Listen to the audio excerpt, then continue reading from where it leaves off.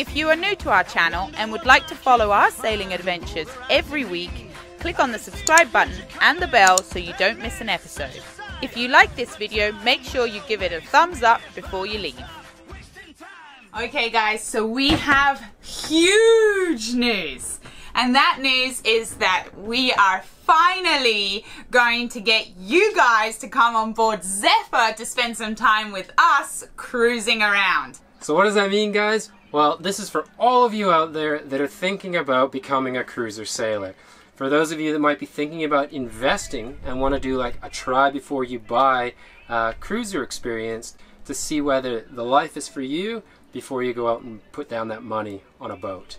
Or simply, for those of you whose curiosity's got the best of them and want to just experience the cruising lifestyle as a salty sailor.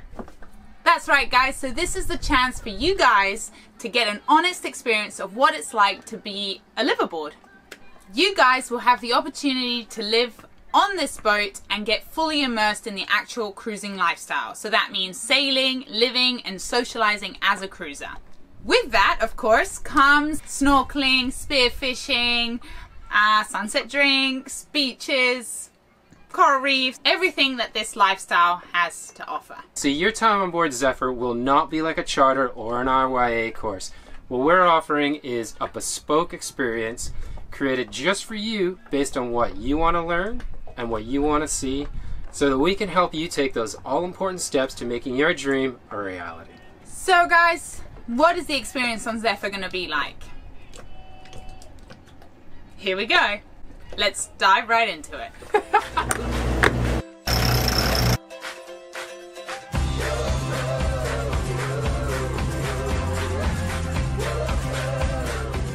Yeah, we're doing seven knots. Good sailing.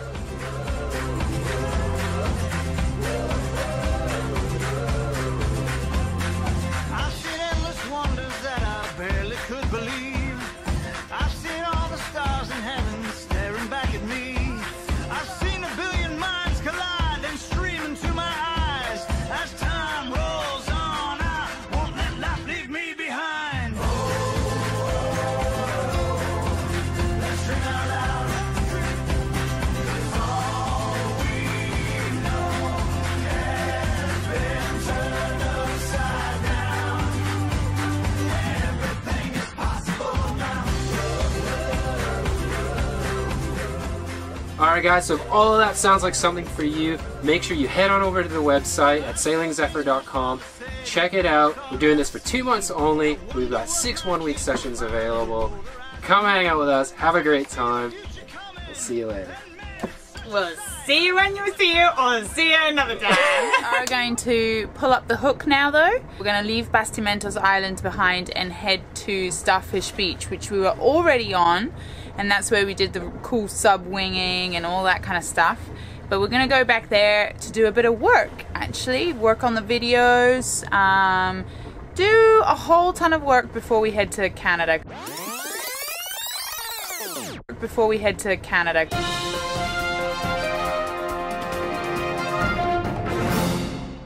because we really want to take Canada as um, a time to spend with family and a really good Christmas. So we've got a lot of stuff to do, cleaning the boat, all that.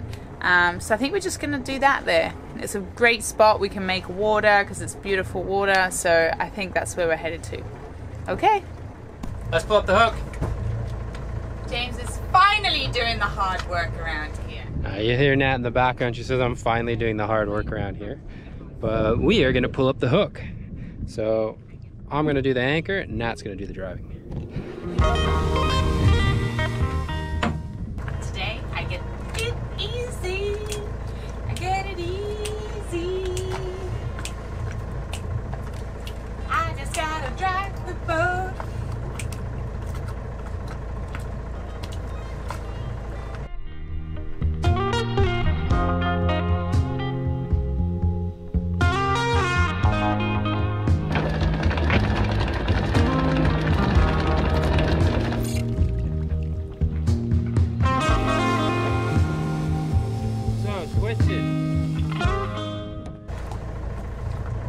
All really, really shallow around here, so hopefully we don't hit the bottom somewhere.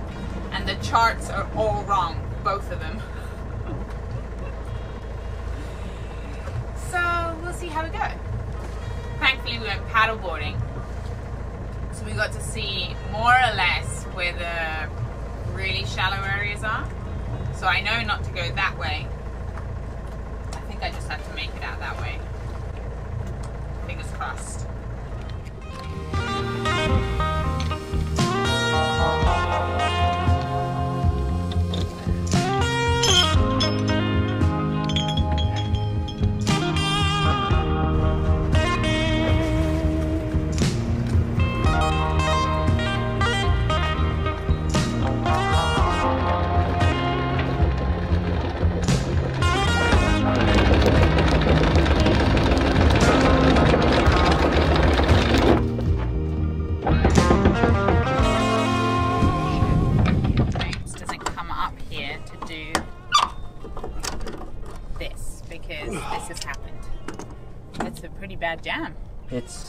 one of the worst we've ever had. Probably one of the worst we've ever had. I don't know how it's happened. We had plenty of tension on the chain. It came up and just this link backed up on. This one. Yeah. I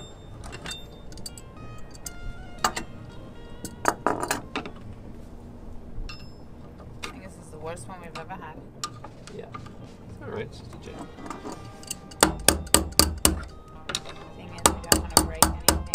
Of course not.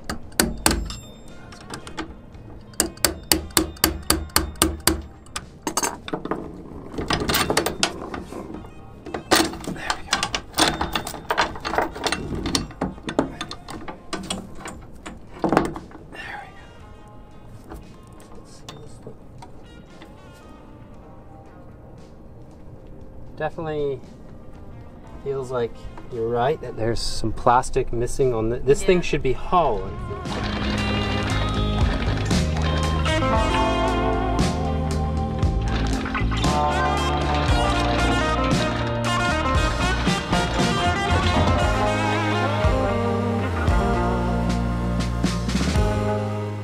This is my serious face because these two don't match up at all. So you kind of have to take a happy medium navigating through all these uh, sandy patches.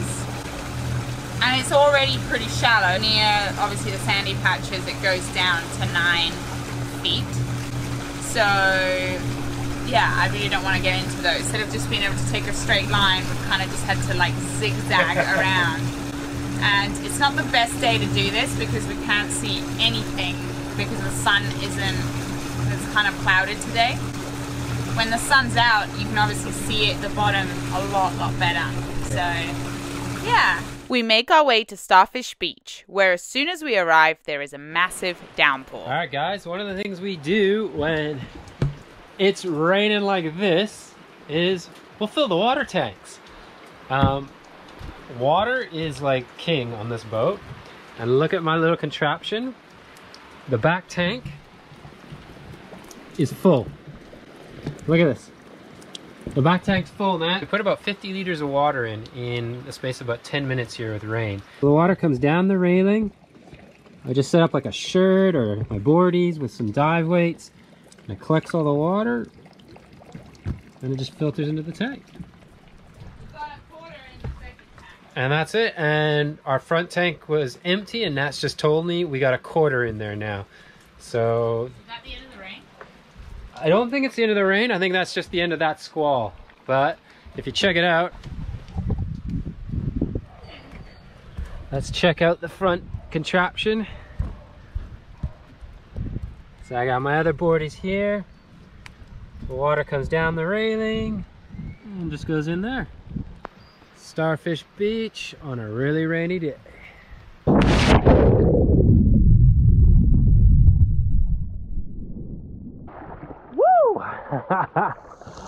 oh, the water's so warm compared to the rain at the moment.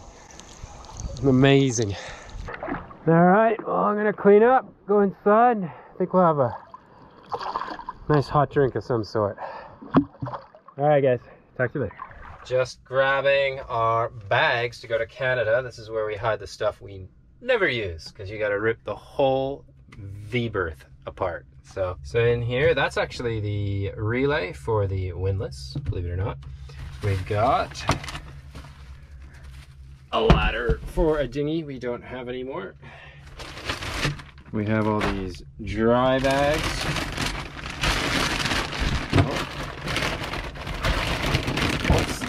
Oh, bunch of straps, child harnesses from the previous owner. I got a laptop bag. Ah. That'll be good for Yeah. What's this? Um, Mum gave me this is a bag full of some parts from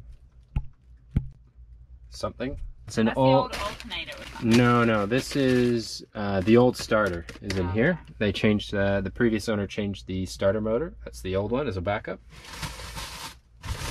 What else do we got? Ah, the most important thing. A spare toilet seat. okay. This is the bag. This is our retro 80s dye bag we found in an in an op shop. I love it. And Yeah. Nat loves it. It's the Fusion Systems bag. And we're Wow. gonna take this one to Canada. Yeah, and I think inside we have more bags. Uh oh. Do they work? Yeah. Might Just a have to little throw little- some WD 40. Don't break it. No, no. There we go. One of them. Not as big as I remember it. Don't you think? I thought it was like huge, and now it looks tiny. I don't know. I mean, it's a pretty decent size. Yeah. I'd say this is probably like, We're just picking up a lot of parts when we're there. oh my god. So it's not so much going. Going is easy. It's the coming back. Yeah. That we've got to think about what bags to bring everything back in. That's a really good point. I think we'll probably even end up having to buy an extra bag, possibly. if- Probably. If uh, if That's we, why I think we should take that one and then two more bags inside. Dankeschön. What else is in the treasure box? The treasure box. Most importantly, just in case, we have a little roach trap. Yeah. Any in there? Nope, there's no roaches in here. And that's it. If we were gonna have a bow thruster, this is, I think, where it would go. In here. Okay. So. Perfect. Well, I'm gonna get packing. Alright guys, I am going to show you something that is a constant problem on sailboats when you are shopping in supermarkets from all over the world. Uh, we never really had this problem in Europe, but I tell you what, being in Central America, this problem has been fierce. Alright, so I was just checking the bilges, doing my little checks as I normally do, and to get to one of the accesses in the bilge, I gotta kind of go through one of our little uh, food storage areas. And whenever I do that, I always like to just do a little check of things. And one of the biggest problems we have to deal on sailboats is infestation of bugs in your pastas, rice. Um, they even get trapped in labels and cardboard and things like that. So we're usually extremely careful on Zephyr. Whenever we have any packaging, we remove it all outside in the cockpit and you know take it to the trash. Yeah, so we try our best to minimize infestation of food on board. Rice and pasta are notoriously the worst. Um, often you'll buy this and it'll have eggs in it from the factories. Rice and pasta, so far in Central America, has been like Russian roulette. And I was just cleaning out going through one of our food stores and this is like the fifth bag of pasta I'm having to basically throw out. I thought one dropped on my foot